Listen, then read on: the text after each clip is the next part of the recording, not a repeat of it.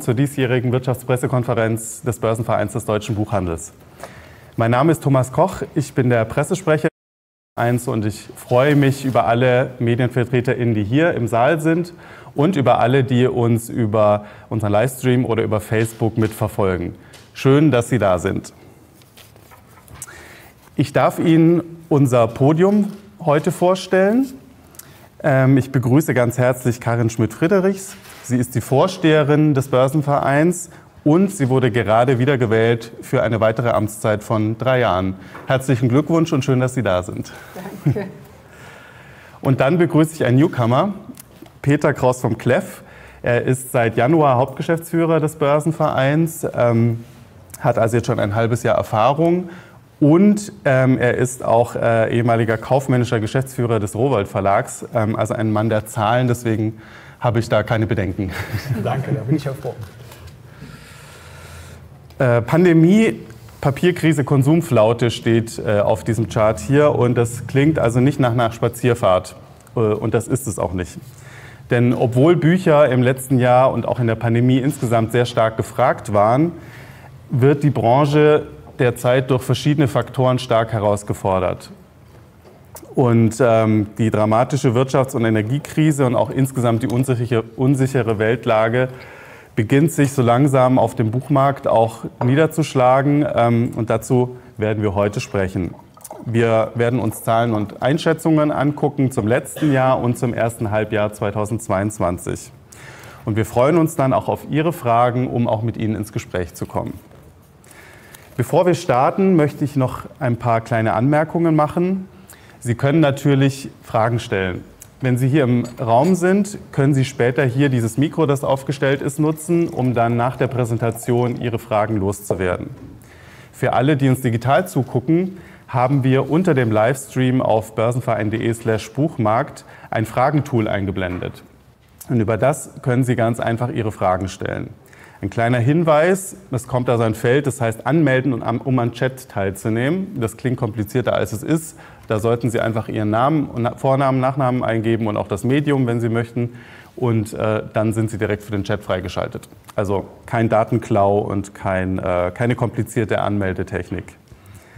Ab 12 Uhr finden Sie dann auf unserer Webseite alle Unterlagen hier zur Wirtschaftspressekonferenz, ähm, die Präsentation, die Pressemitteilung und auch eine Aufzeichnung dieser Veranstaltung.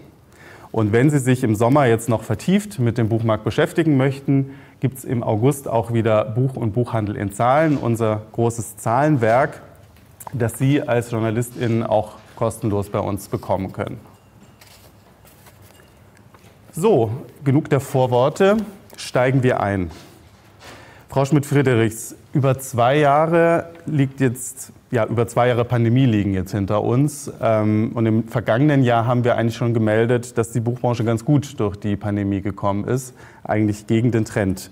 Wie ging es denn der Buchbranche im zweiten Pandemiejahr? Ähm, auch im zweiten Pandemiejahr ist die Buchbranche gut durch die Pandemie gekommen. Und das liegt an letztlich drei Faktoren. Das eine ist, dass wir eine unglaublich engagierte Branche sind, dass die mit Leidenschaft an dem arbeitet, was sie tut, ähm, daneben innovativ ist ähm, und tatsächlich ihre KundInnen liebt und dementsprechend eine Nähe pflegt. Insofern konnte sie den Umsatz sogar leicht jetzt steigern im letzten Jahr. Ähm, Buchhandlung und Verlage haben eine gewisse Resilienz gezeigt und eine ganz hohe Kreativität. Und was man uns manchmal von außen nicht zutraut, nämlich auch eine ausgeprägte Digitalkompetenz.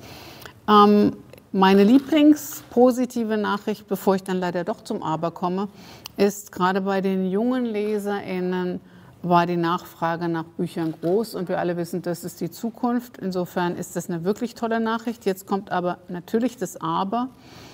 Ähm, da sich das Geschäft ins Netz verlagert hat, ähm, gibt es das Geschäft, aber es gibt es zu hohen Handlingskosten. Und damit sind diese Umsätze einfach teuer erkauft. Ähm, das Ganze findet in einer ohnehin wahnsinnig margenschwachen Branche statt, was nicht gut ist. Es gibt noch ein Aber. Ähm, das ist die Frage, was tut man in Zeiten, wo Buchhandlungen geschlossen sind? Da kaufen die Menschen Zielkäufe, das heißt, sie kaufen die Bestseller, sie kaufen das, was sie kennen und sie stöbern nicht neugierig durch die Buchhandlung und entdecken Unbekanntes. Dementsprechend machen auch die Verlage natürlich eher die sicheren Titel als die neuen Unbekannten. Das ist aber die, der andere Teil der Zukunft, nämlich neue AutorInnen entdecken. Und das macht mir etwas Sorgen. Das Abseitige, das Mutige, das Innovative kommt in solchen Phasen eher zu kurz und das brauchen wir aber für die Zukunft. Wie das im Detail dann aussieht, gucken wir uns nachher noch in Zahlen auch an. Wir werden heute aber auch schon eine Zwischenbilanz, eine erste für das Jahr 2022 ziehen. Peter Kraus vom Kleff, wie steht der Buchmarkt denn aktuell da? Es ist so, äh, Thomas, dass die Buchbranche ähm, durch die Pandemie geschwächt, Frau Schmidt-Friedrichs hat es angesprochen, dass die erfreulichen Zuwächse im Online-Geschäft Margen schwächer sind als das, was man stationär erzielen kann, trifft also unsere Branche durch die Pandemie wirtschaftlich geschwächt auf weitere Krisenfaktoren. Vor allen Dingen ist hier zu nennen der völkerrechtswidrige russische Angriffskrieg auf die Ukraine. Unsere Welt ist seit dem 24. Februar 2022 nicht mehr dieselbe. Das erschüttert die Menschen und führt zu einer drastischen Konsumzurückhaltung. Es zeichnet sich mehr und mehr ab, dass diese Konsumzurückhaltung in eine allgemeine Kaufmüdigkeit mündet, die auch sich auf unsere Branche niederschlägt. Daneben setzen steigende Kostenfaktoren unsere Branche unter Druck. Zu nennen seien hier nur die Energiekosten und die Papierkrise. Das ist so, sagen wir mal, der, in einer Nussschale der momentane Standort, den wir haben. Nussschale auf welligem Meer. Genau. Ja, dann gehen wir doch jetzt mal in die Zahlen und beginnen äh, mit dem Jahr 2021. Ähm, Peter, also insgesamt, das kann man hier sehen, hat, die, hat der Buchmarkt die letzten beiden Corona-Jahre gut überstanden. Die von Frau Schmidt-Friedrich schon erwähnte Resilienz unserer Branche äh, zeigt sich hier in Zahlen. So konnten wir im letzten Jahr 3,5 Prozent die Umsätze steigern gegenüber 2020. Und was man vielleicht so als normativ nehmen sollte, wenn Sie das vor Corona-Jahr 2019 als Basis nehmen, liegen die Umsätze 2022 um 3,6 Prozent über denen, die wir 2019 vor Ausbruch der Pandemie hatten. Das ist eine sehr erfreuliche Entwicklung. Trotzdem hat die Corona-Krise große Auswirkungen. Das sehen Sie hier an, der, an dem äh, Kuchendiagramm. Vor allem der stationäre Sortimentsbuchhandel hat stark gelitten, da die Lockdown-Phase in 2021 noch deutlich länger währte als diese in 2020. Damit Sie das so einordnen können, 2020 gab es sechs bis sieben Wochen Lockdown ähm, und 2021 zwischen neun und 13 Wochen je nach Bundesland. Außerdem sehen wir einen starken Rückgang der Kundinnenfrequenzen in den Innenstädten. Das wird sich, wenn wir über 22 reden, noch verstärkt niederschlagen. Und ähm, der stationäre Handel hat hier eben ähm, sehr stark, was den stationären Verkauf angeht, eingebüßt. So lag der Umsatzanteil des stationären Buchhandels ähm, im letzten Jahr nur noch bei 39,1 Prozent von Gesamt. Das ist, wenn Sie das wieder mit dem Vor-Corona-Jahr 2019 vergleichen, ein deutlicher Rückgang, denn dort lag der Umsatzanteil bei 46,2 Prozent. Mithin hat also unser stationärer Handel 12,3 ähm, Prozentpunkte Umsatzanteil verloren. Das ging zwar, das sehen wir gleich, ähm, konnte kompensiert werden durch einen enormen Anstieg des Online-Geschäfts, das aber, ähm, kann man nur noch mal betonen, eine andere Marge hat, weil die Handlingkosten sehr hoch sind. Ähm, was wir uns aber erfreuen können, wenn wir zum nächsten Chart gehen, also man sieht hier den Internetbuchhandel, was Sie hier vor allen Dingen mitnehmen können, ist, dass die Findigkeit, digitale Kompetenz und Innovationsbereitschaft unseres, unserer Branche dazu führte, dass wir von 2019 auf 2021 um 43,7 Prozent Umsatzzuwächse im Online-Geschäft hatten. Das ist, wenn Sie das mit Amazon vergleichen, die im gleichen Zeitraum 18,4 Prozent Umsatzzuwächse hatten, enorm. Das heißt, ähm, wir haben es hier geschafft, unsere Branche hat es geschafft, dass fast hälftig der Online-Umsatz mit Büchern vom stationären Handel und von äh, Buchhandlungen gemacht wurden. Und das ist eine erfreuliche äh, Zahl, die zeigt, dass Kundinnen kapiert haben, dass sie bei ihrem Lieblingsbuchhändler, ihre Lieblingsbuchhändlerin durchaus auch online bestellen können. Das tun sie auch. Was uns Sorgen macht, und das äh, knüpft an das unmittelbar an, was die äh, Vorsteherin gesagt hat, ist eine Entwicklung, die zu mehr ähm, Bestseller-Konzentration führt, weil Online-Käufe, meine Damen und Herren, sind Zielkäufe. Ich ähm, vermisse das Stöbern, das Entdecken, was man Serendipität nennt, also eine Empfehlung meiner Buchhändlerin bekommen oder beim den Laden flanierend durch Streifen etwas aus dem Regal ziehen. Sie sehen also, dass die ähm, gerade in der Belletristik die Umsatzkonzentration zugenommen hat. 39,3 Prozent des gesamten Belletristikumsatzes wurde mit den äh, Top 10 Titeln gemacht. Ähm, insgesamt liegt der Anteil der, ähm, der Top-Titel bei 23,6 Prozent vom Gesamtumsatz. Und Sie sehen hier den kleinen schwarzen äh, Minusbalken, 3 Prozent. Das heißt, in der Breite ist der, ähm, ist der Umsatz gesunken für die einzelnen Titel. Ähm, die E-Book-Entwicklung verlief eigentlich unspektakulär. Wir können feststellen, dass der Wachstumsboom der ersten Jahre vorbei ist. Der E-Book-Markt lebt weitestgehend von einer Kernkundschaft. 2021 lag der E-Book-Umsatzanteil an Gesamt bei 5,7 Prozent. Das ist nochmal ein Zuwachs von moderaten 3,2 Prozent gegenüber 2020. Und Sie haben gesehen, im ersten Lockdown-Jahr war ein 16-prozentiger Anstieg der E-Books zu sehen. Wir können feststellen, dass die Kaufintensität der etablierten E-Book-Kundinnen und Kunden gestiegen ist, aber keine große Kundschaft hinzugewonnen werden konnte. Und was vielleicht ähm, weltweit einmalig ist, dass wir hier kein Angebotsmonopol haben von E-Books, sondern dass es auch andere Anbieter gibt neben Amazon, die eine große Rolle im E-Book-Markt spielen. Wie entwickeln sich digitale Buchformate von 2019 bis 2021? E-Books Downloads steigen weiter an, aber in einem äh, moderaten Anstieg. Was wir hier aber sehen müssen, ist, dass der Hörbuch-Download-Markt sehr stark wächst.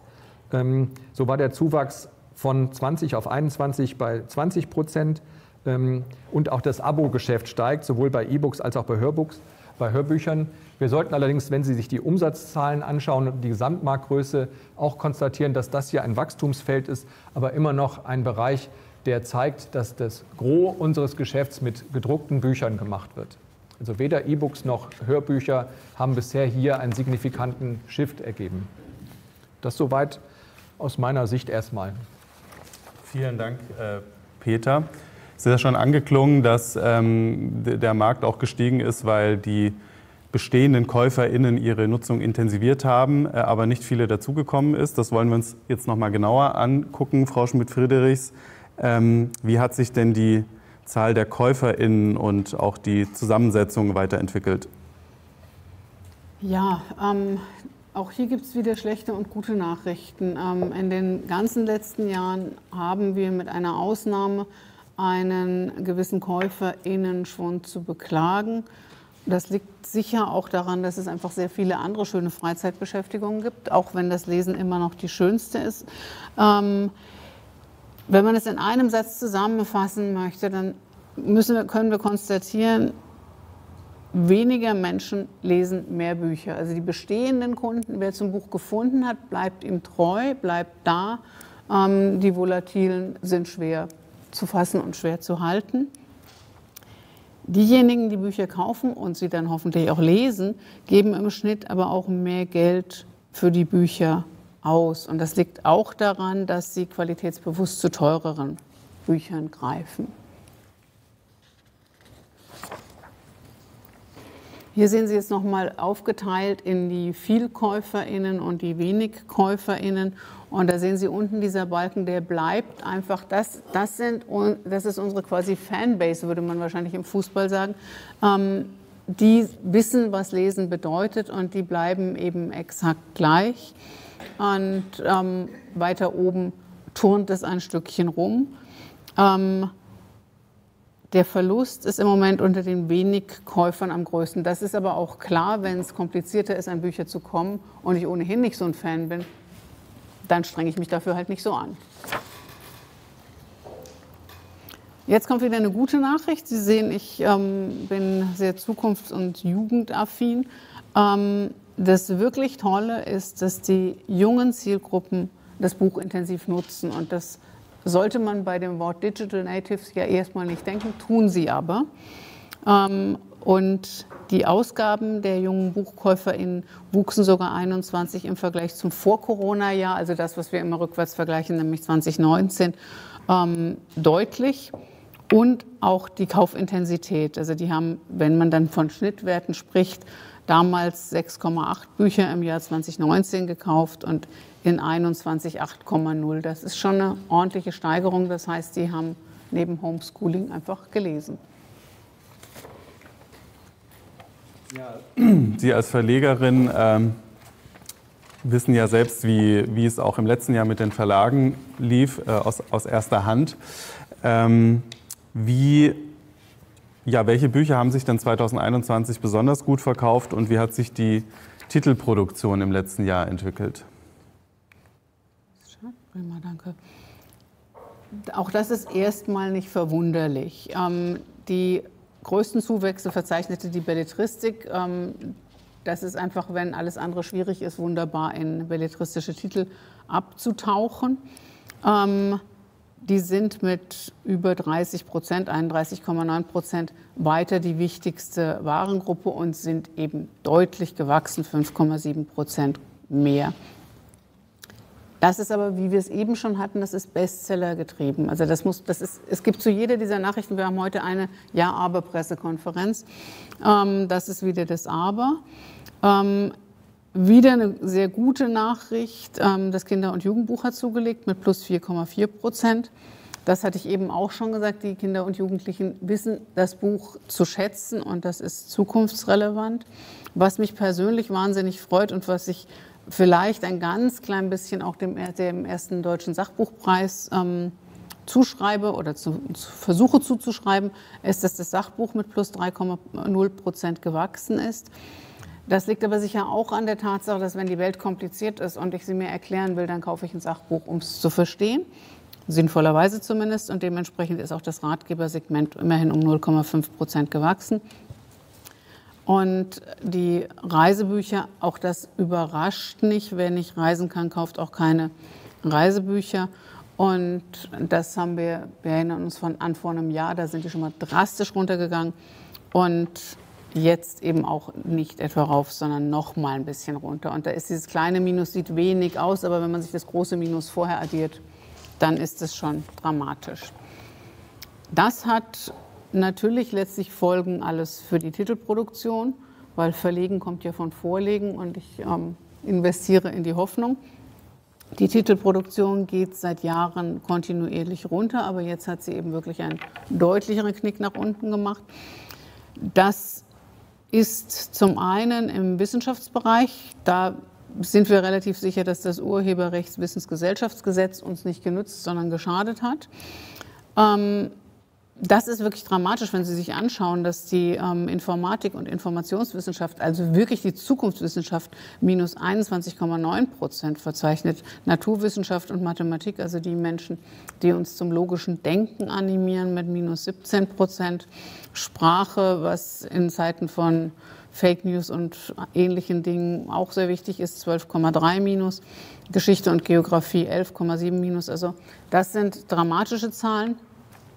Es gibt auch weniger Kinder- und Jugendbücher, da kommt wieder das Bestseller-orientiert und stärkenorientiert dazu. Und weshalb ich auf dieser Vielfalt so rumhacke, häufig gehen eben die unbekannten und neuen Autoren dabei leer aus und die brauchen wir aber, denn das sind die Topseller von morgen eventuell. Also das mutige, innovative kommt zu kurz. Und bei den Übersetzungen passiert letztlich genau das Gleiche. Also die Kurven können wir übereinander legen. Ähm, das hat sicher auch mit den ausgefallenen Buchmessen oder reduzierten Buchmessen zu tun, weil wo treffen, treffen denn Lizenzmenschen aufeinander, wenn nicht auf einer Messe? Es gibt eine kleine, ähm, einen kleinen Ausreißer. Das ist die Tatsache, dass Japanisch inzwischen auf dem zweiten Platz der Herkunftssprachen liegt. Und da sehen Sie wirklich in Zahlen wiedergespiegelt den Comic- und Manga-Trend und beim Lizenzverkauf ins Ausland. Der ist ein bisschen angestiegen, das ist eine super gute Nachricht. Ähm, da ist das Kinder- und Jugendbuch um 10,8 Prozent gestiegen. Also das heißt, unsere guten Erfahrungen, dass die Jugendlichen und Kinder lesen, scheinen wir gut exportieren zu können. Und die Belletristik auch wieder unsere Stärke, scheinen wir auch wieder gut ins Ausland exportieren zu können mit knapp 10 Prozent. Hier nochmal wir brauchen Buchmessen, um uns zu treffen, denn nur wo Menschen einander treffen, begeistern sie sich auch wechselseitig für Inhalte. Hier kann man vielleicht äh, aus dem Nähkästchen plaudern, dass die Kolleginnen und Kollegen der Buchmesse eine große Nachfrage verspüren nach dem ähm, Kauf oder der Anmiete von Tischen von, äh, im Foreign Rights Center, dass hier ein großer Bedarf ist nach Begegnung. Denn es ist doch leichter, äh, ich habe das selber schon mal mitgemacht, äh, ähm, vor Ort ähm, Rechte zu verhandeln, die Menschen wiederzusehen oder neu zu sehen, um Auslandslizenzgeschäfte abzuwickeln. Und das ist eine gute Botschaft. Das spricht aber auch genau, wie Sie sagen, dafür, dass man die Messen dringend als Begegnungsort braucht. Ja, vielen Dank. Das war nun 2021. Inzwischen liegen jetzt die ersten sechs Monate auch von 2022 hinter uns.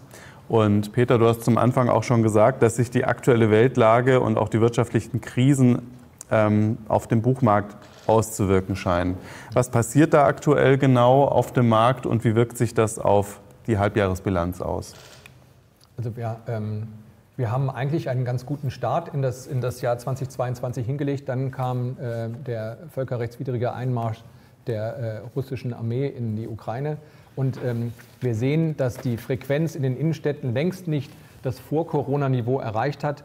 Ähm, wenn Sie den, die HDE-Zahlen ähm, nehmen, dann ist ähm, der Frequenzrückgang im Mai 2022 im Vergleich zum Vor-Corona-Mai 2019 um 20 Prozent gesunken für alles, was Non-Food ist. Das hat mehrere Gründe. Zum einen, dass heute noch viele Menschen ähm, ortsunabhängig arbeiten und demzufolge auch nicht mehr in ihre Büros gehen, damit in die Innenstädte kommen und damit in der Mittagspause flanieren, einkaufen, Besorgungen machen. Ähm, die Verbraucherstimmung, das müssen wir uns bewusst machen, ist auf einem historischen Tiefspunkt.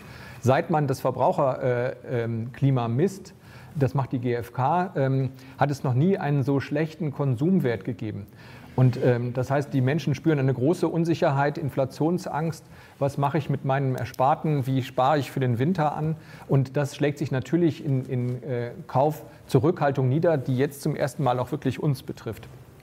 In Bezug auf, auf unsere Branche eher selbst ist es so, dass wir signifikante Preisanstiege haben, die alle Verbraucherinnen und Verbraucher trifft. Energiekosten, Kraftstoffkosten, Rohstoffe aller Art, aber auch Personalkosten. Es gibt einen enormen Fachkräftemangel, was man aller Orten äh, sieht, in der Logistik, aber auch in der, in der Nachbesetzung von Stellen auf Messen. Ähm, das, ist, das ist schwierig. Und unsere Branche ist ja sehr logistikintensiv. Sie wissen, wir haben eigentlich die, die beste Logistik weltweit, die die Käuferinnen und Käufer genießen können. Die ist aber auch eben ähm, Rohstoff- und äh, Kraftstoffverbrauchend. Wir haben, und das ist auch besorgniserregend, einen starken Anstieg der Druckkosten. Da können wir Ihnen gleich noch ein paar Details zu sagen. Das ist äh, nach Jahren der im Grunde flachen Kostenentwicklung jetzt ein signifikanter Anstieg. Und vor allen Dingen stand heute schon in, in, der, in der Welt Papierpreise und überhaupt Papiermaterialknappheit machen uns sehr zu schaffen. Wenn wir das ein bisschen näher ansehen, jetzt sehen Sie einen Chart, das etwas erklärungsbedürftig ist. Die für uns interessantere Linie äh, für die Kolleginnen und Kollegen aus den Zeitungs- und Zeitschriftenhäusern ist sicher auch die schwarze Linie interessant, aber für uns Buchmenschen vor allen Dingen die rote Linie, das ist die Entwicklung der Druckkosten von äh, von Büchern gemessen am Verbraucher, äh, am Erzeugerpreisindex. Hier sehen Sie, dass von 20 bis 21 im Grunde das stagnativ war. Es gab 0,1 Prozent, also im Grunde sind die Druckkosten seit Januar 2019 stabil. Das hat auch mit Innovationsfortschritten, mit Kostendegression zu tun. Und dann, ja, dann ähm, setzt ähm, der, der, Januar, Februar ein, Fachkräftemangel und vor allen Dingen ähm, Anstieg. Es ist eine energieintensive Branche mit vielen ähm, Einsatz- und Betriebsstoffen, die man braucht. Und hier sehen wir, das ist immer Werte zum Vorjahresmonat. Das heißt, die Druckkosten 2022 sind um 21,1 Prozent liegen die über denen des Vorjahres. Das heißt, die Branche hat, ohne dass hier Preistreiberei der Druckereien gemacht werden, das muss ich auch ganz klar sagen, hat einfach durch externe Faktoren einen enormen Kostenanstieg bei den Druckkosten. Noch krasser ist die Entwicklung bei den Papierpreisen. Hier sehen Sie, dass die Papierpreise für uns interessant ist, der, äh, vor allen Dingen der ähm, Bereich grafische Papiere, Pappen und Papiere. Ähm, die sind von 2020 auf 21 um 12 Prozent gestiegen, aber dann ja dann auch äh, exogener Schock durch ähm, den Ukraine-Krieg. Ähm, die Preise im Moment für Papiere liegen um 52,3 Prozent über den der Preise im Mai 2021. Wenn Sie das kombinieren mit den über 20-prozentigen Druckkostenanstiegen, sehen Sie, dass das ein perfekter Sturm ist. Wenn man nach den Gründen fragt, so sind die mannigfaltig für den Papierpreisanstieg. Vielleicht können Sie mitnehmen, dass es zum einen über die Jahre eine sinkende Nachfrage nach ähm, Papier, äh, grafischen Papieren gab, sodass die Kapazitäten angepasst wurden.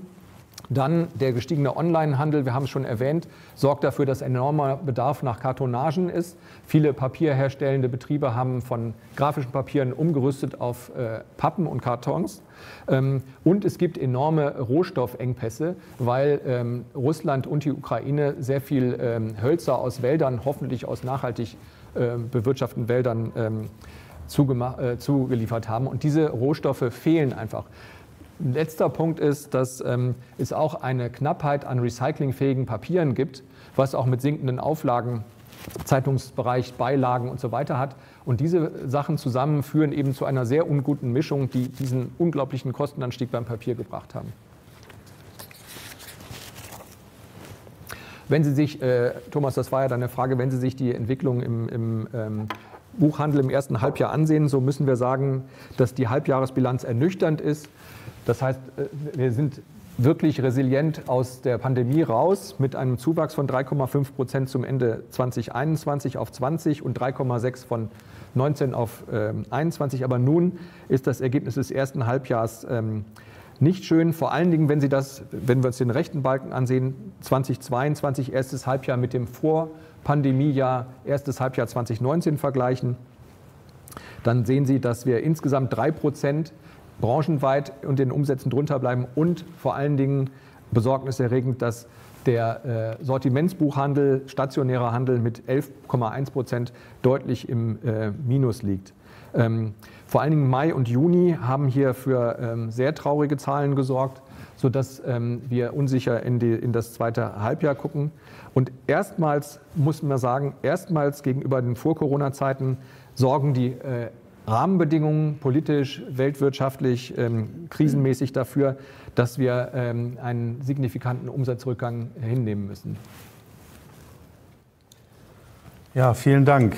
Wie geht es jetzt weiter, ist die große Frage. Äh, Frau Schmidt-Friedrichs, ähm, welche Herausforderungen stellen sich für die Branche und haben Sie auch eine Idee, wie wie es da weitergehen, wie sich Buchhandlungen und Verlage daraus kämpfen können. Ja, also ich habe keine Kristallkugel und ich, ähm, nach dem, was wir gesagt haben, wäre auch jeder überrascht, wenn ich jetzt sagen würde, ich habe die Lösung. Ähm, eine Lösung könnte darin liegen, die sehe ich aber im Moment noch nicht ganz. Wie geht das mit den Papierengpässen und den Kostensteigerungen weiter? Ähm, das liegt außerhalb unserer Macht. Ähm, bei dem Thema Konsumflaute das liegt vielleicht ein Stückchen mehr in, in unserer Macht, nämlich dass wir äh, zu begeistern verstehen. Ähm, aber wenn niemand in der Stadt ist, dann kann die Buchhandlung alleine vielleicht auch noch nicht begeistern. Was aber ganz wichtig ist, Herbst- und Weihnachtszeit ist Lesezeit und insofern ist das unsere wichtigste Hoffnung. Und damit komme ich auch zu den Chancen. Ähm, die Frankfurter Buchmesse ist ja nicht nur Treffpunkt der Branche und Lizenzmenschen, sondern die Frankfurter Buchmesse ist auch ein Kommunikationsanlass und ein Aufmerksamkeitsanlass, nämlich das Gespräch über Bücher zu ähm, inspirieren und loszutreten. Und das kann sie ganz sicher, also das ist in unserer Macht und da werden wir auch alles tun, was in unserer Macht steht. Und ähm, dann gibt es eine quasi von außen kommende Chance, das habe ich ansatzweise auch schon gesagt, je schwieriger die Welt wird und je weniger wir sie verstehen, desto mehr brauchen wir fundierte Inhalte, neue Perspektiven und ehrlich gesagt auch Halt. Ob man das dann Me-Time nennt oder auch mal eine Rückzugszeit, ist mir relativ egal. Aber diese Mischung brauchen wir auch als Bildungsmedien und Diskussionsanreger sind Bücher wichtig und da sehe ich tatsächlich eine Chance. Danke. Nicht alles kann die Branche wahrscheinlich komplett aus sich heraus machen. Ähm, Peter, ist dann auch die Politik gefragt? Was wünschen sich denn Buchhandlungen und Verlage jetzt ganz besonders von der Politik? Es ist ja so, dass wir uns bewusst sind und es äh, auch nicht müde werden zu betonen, dass unsere Branche sowohl eine Wirtschafts- als auch eine Kulturbranche ist. Und ich glaube, man kann die Entwicklung sehen, die ein Staat nehmen kann, wenn kein Pluralismus herrscht, wenn nicht unterschiedliche Meinungen eine Rolle spielen können, wenn ich nicht auch mir widerborstig erscheinende Stimmen hören und publizieren kann. Das führt in Autokratie und ähm, deswegen wird die Bedeutung von freier Meinungsäußerung und von einer vielfältigen Programmpolitik wichtig. Das vermitteln wir in die Politik, dass wir sagen, wir brauchen hier eine Unterstützung einer in die äh, Krise mit hineingezogenen Branche. Das muss man ja sagen, wir, wir sind ja nicht krisenbehaftet, sondern wir haben exogene Schocks. Ähm, ich beneide die Politik ehrlich gesagt nicht um die momentane äh, Gemengelage, weil man ja auch äh, Klimakrisen äh, zu bewältigen hat, aber das Tagesgeschehen ist eben da. Wenn du konkret fragst, wir ähm, möchten gerne, dass die Möglichkeit, die die EU-Gesetzgebung äh, nun eingeräumt hat, der ECOFIN, also der Rat der europäischen Finanzminister, hat zugelassen, dass bestimmte, sieben bestimmte äh, Sparten mit einem signifikant niedrigen Mehrwertsteuersatz belegt werden können, bis zu null. Wir fordern daher 0% Mehrwertsteuer für Bücher und Zeitungen und äh, Erzeugnisse inklusive elektronischer Publikationen bei weiterhin vollem Vorsteuerabzug. Das ist wichtig zu betonen, 0% Mehrwertsteuer bei weiteren vollem Vorsteuerabzug und dazu hinaus eine strukturelle Förderung ähm, bestimmter Maßnahmen für die Branche, für unsere Kultur- und Wirtschaftsbranche. Ähm, wir ähm, beteiligen uns sehr gerne an einer dringend notwendigen Wiederbelebung der Innenstädte. Wir haben Ihnen ja dargestellt, dass die, der 20-prozentige Frequenzrückgang in den Innenstädten dramatisch ist. Wir wollen keine verwaisten Innenstädte. Und ich glaube, dass gerade unsere Branche einen großen Beitrag leisten kann, weil in vielen Orten gerade die Buchhandlung ein sogenannter dritter Ort ist. Ein Ort, den man neben seiner Arbeitsstätte und seiner Heimstätte, die heute ja interessanterweise zusammenliegen. Also ist die Frage, ob man noch von drittem Ort sprechen kann, sondern dem zweiten Ort. Wir möchten diese Zentrale, diesen Magnetismus, den ein Buchhandel ausstrahlen kann, nutzen und einbringen. Aber wir brauchen Maßnahmen, die der Deutsche Kulturrat hat das gerade im äh, Zusammenspiel mit anderen Verbänden gefordert. Wir brauchen Maßnahmen zur Wiederbelebung der Innenstädte weil das auch übrigens ein ökologischer Beitrag ist. Wenn ich vor Ort an mehreren Stellen bestellen kann, dann erspare ich mir einzelteilige ähm, Heimlieferungen. Und das ist nochmal der Ansteig des Online-Geschäfts, ist sowohl für die Marge nicht gut und ich halte ihn auch ökologisch für fragwürdig, weil sie kleinstteilige Dinge von zig verschiedenen Stationen nach Hause bringen lassen. Und es nimmt uns die grafischen Papiere weg. Genau. Auch noch. Das ist unfair, genau. Das, das wäre also der Punkt. Wir blicken also ähm, ungewiss, aber kämpferisch in die Zukunft und äh, nochmal als Kultur- und als Wirtschaftsbranche wissen wir, dass wir unglaublich kreativ sein können, findig sein können und ich erlebe immer eine große Identität, Purpose-Drivenness von denen, die sich bei uns engagieren. Ja, vielen Dank, Frau Schmidt-Friedrichs, Peter, für diese geballte Zahlenmacht. Damit haben wir Sie jetzt torpediert. Jetzt dürfen Sie gerne Fragen stellen. Das ist jetzt Ihre Gelegenheit. Ähm, Nachfragen, weitere Fragen. Ähm, wie gesagt, hier im Raum melden Sie sich gerne. Wir haben hier ein Mikro, an das Sie dann äh, gehen können. Und für alle, die unser Fragentool nutzen, ähm, ich habe auch schon zwei Fragen hier, die ich nachher einstreuen werde, einfach äh, unter unserem Livestream auf der Webseite draufgehen, ähm, kurz Namen angeben und auf Anmelden klicken und dann können Sie mir hier direkt ähm, auf den, aufs Podium hier Ihre Fragen stellen. Herr Bayer-Gim von EPD hat sich gemeldet. Starten Sie gerne. Ja, Frau Schmidt-Friedrich, Sie haben vorhin bei der Titelproduktion, bei den Erstauflagen gesagt, das Urheberrecht, das Neue, habe der Branche eher geschadet als genutzt. Können Sie das bitte erklären? Das Urheberwissen, Urheberwissensgesellschaftsgesetz. Urheberwissensgesellschaftsgesetz. Genau. genau ja, lähmt einfach die, ähm, die Neuerscheinung. Aber da müssen Sie mir jetzt helfen, weil ja, Sie auf europäischer das, Ebene besser also sind. Es ist so, dass das Urheberwissensgesellschaftsgesetz kurz gesagt ermöglicht, dass bis zu 15 Prozent der Inhalte ähm, lizenzfrei zur Verfügung gestellt werden. Das heißt, wenn Sie ein wissenschaftliches Werk nehmen, werden die Kerndinge, die in dem jeweiligen Werk drin sind, ohne Entgelt abgerufen. Das ist für eine mittelständisch geprägte Branche, das sehen wir gerade bei geisteswissenschaftlichen äh, Verlagen, wissenschaftlichen Verlagen, natürlich ein, ein erheblicher Dämpfer. Das war auch eine Enttäuschung, dass es hieß, das äh, Urheberwissensgesellschaftsgesetz soll erstmal nach einer dreijährigen Probephase evaluiert werden. Die Evaluierung sah, sagen wir mal, etwas spärlich aus. Und das führt natürlich dazu, bei rational halt, äh, handelnden Akteuren, ich sage ja immer Kultur- und Wirtschaftsbranche, dass man sich fragt, lohnen sich manche Orchideenpublikationen noch, wenn ich weiß, dass hier ein Teil der Entgelte fehlen. Also das ist signifikant, äh, was, was wir hier feststellen. 20 Prozent Titelrückgang ist, liegt deutlich über dem Durchschnitt. Danke. Wenn ich noch ähm, ergänzen kann, ähm, wir hatten eben genau, weil es hieß, es soll evaluiert werden, auch zusammen mit Media Control ein Lehrbuchmonitoring aufgesetzt und ähm, wir haben jetzt eben, das hat, ist bis 2020 gegangen und jetzt nur als Beispiel, ähm, es ist 2020 der Umsatz mit Lehrbüchern um 8,74 Prozent zurückgegangen und der Absatz um 11,35 Prozent. Das gibt es jetzt nicht für 2021, weil jetzt ist es entfristet. Da kam uns die Politik leider zuvor. Aber das zeigt also nicht nur in den Neuerscheinungen, sondern auch im Absatz und Umsatz hat das Rückgänge bei Lehrbüchern ähm, hervorgerufen. Erlauben Sie mir noch einen, einen, einen äh, Anschlusskommentar. Ähm, wir konnten ja darstellen, dass unsere Branche innovativ und digital zugewandt und findig ist. Und äh, wenn wir jetzt an die Digitalisierung der Lehre denken, dann ist der Appell an die Politik, dass Digitalisierung der Lehre nicht bedeutet, dass man die Hardware zur Verfügung stellt und dafür Gelder gibt, Tablets und so weiter, Whiteboards, und dann denkt, dass die Inhalte, die zur Vermittlung von Wissen auf diesen neuen digitalen Geräten da sind, irgendwie vom Himmel fallen oder dass keiner dafür Geld zahlen muss. Da sind sehr schlaue Konzepte, die sehr ausgefeilt sind, die die Kolleginnen und Kollegen in den Wissenschafts- und Schulbuchverlagen machen, die natürlich auch entsprechend die Leistungen, die dort erbracht wird, entsprechend vergolten werden muss. Genau. Ähm, damit haben wir auch eine Frage von Ludger Fittgau vom Deutschlandfunk äh, hier über den Chat schon beantwortet. Oh, wusste ich gar nicht. ja, das weiß ich. Ach, du weißt immer mehr.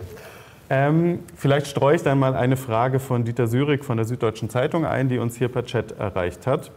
Haben Sie eine Einschätzung, welchen Anteil die zusätzlichen Herstellerkosten wegen Papiermangels, Lieferkettenproblemen und höherer Energiepreise an Umsatz und Ergebnis ausmachen? Und welchen Anteil geben die Verlage an die Kunden weiter?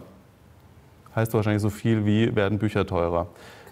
Ähm, ja, das kann ich als ehemaliger äh, Verlagskaufmann äh, sagen, dass ähm, über den Daumen jetzt für einen Publikumsverlag macht, macht eigentlich Papier 40 Prozent der Herstellkosten aus. Wenn Sie sagen, das steigt um 50 Prozent, können Sie sich das ungefähr ausrechnen. Wir erleben von der Preisentwicklung, dass eigentlich seit der Euro-Einführung, da haben die Verlage die Preise äh, fair umgerechnet 1,95583. Das war ja damals der Umrechnungskurs, wenn Sie sich erinnern und äh, dann geglättet. Und seitdem ist die, äh, die Preisentwicklung sehr unspektakulär, folgt im Grunde der Inflationsentwicklung.